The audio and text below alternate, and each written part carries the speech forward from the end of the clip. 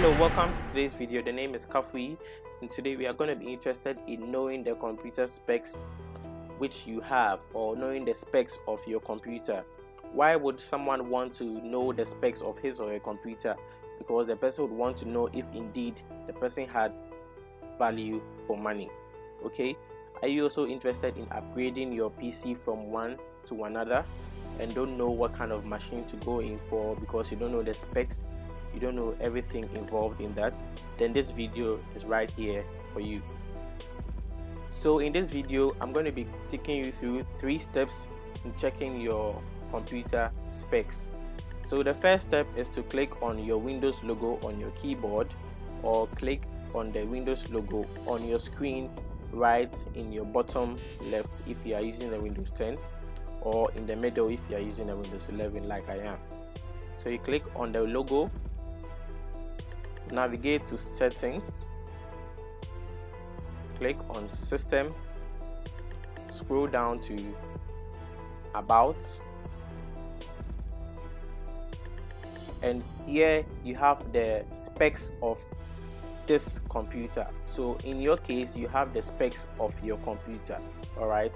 So this pc is a is an hp pavilion laptop okay? And this is the device name here is the name of the processor. Here is the installed RAM. This is the device ID the product ID the system type and whether or not your laptop supports a touch. We also have the Windows specifications the name of the operating system the version the date it was installed the OS build and then the experience. Okay so this is one way to check your computer specifications.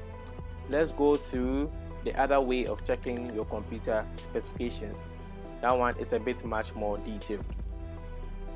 So we are going to do that through the task manager.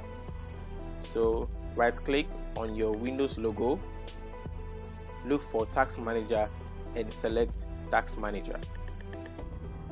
You can also use the key combination Ctrl Alt Delete to call up your task manager. So once you've had your task manager launched like I have over here, you are going to scroll to performance. Alright, so here we have details on your CPU, your memory, your storage, and your graphic processing unit.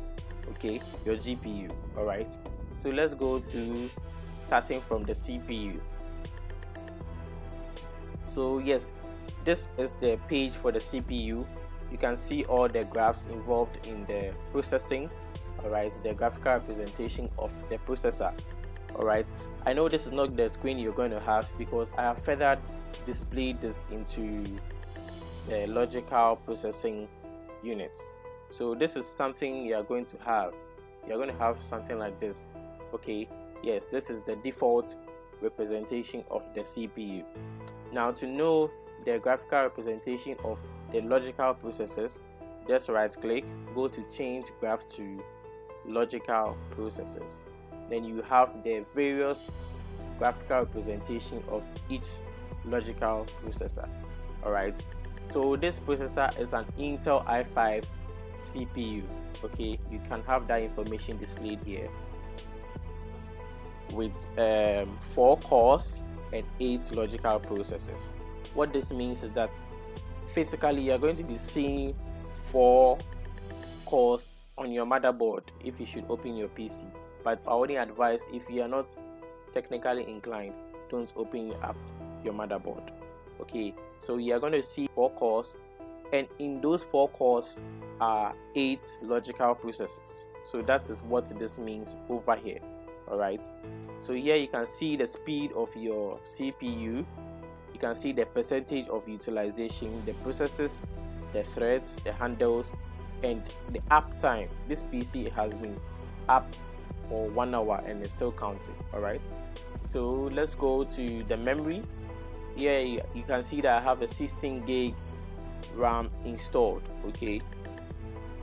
And also i've used all my two slots okay with memory available 12.1 gig all right now let's jump to the disk so this is an ssd from kingston which is one terabyte all right yes so you can also see the graphical representation of the utilization of this ssd all right right now i think is that a rest mode. Is not using much data so you can't see you can just see some tiny tiny bits of graphs scale here all right so this is information pertaining to my storage okay? I have two storage systems so this is for the ssd and this is for the HDD all right which is also one terabyte okay?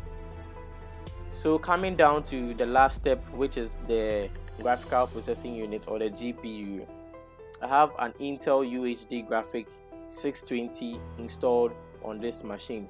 That is by default okay?